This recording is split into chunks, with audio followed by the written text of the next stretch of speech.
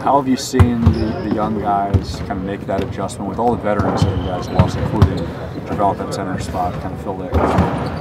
Uh, you talking about? Yeah, I Yeah, mean, with- these guys just come to work every day, two hours, three hours early at times, and they're just eager to learn and put the work in. And that's the biggest component I look for in young players.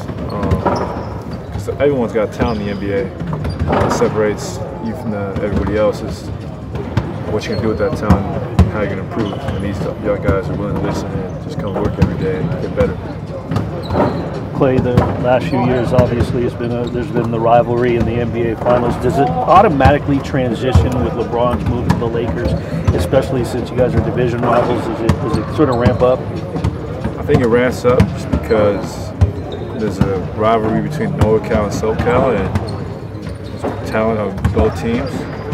But I don't think it'll be at the level of us in Cavs just because we played each other at the highest level for four straight years. And um, yeah.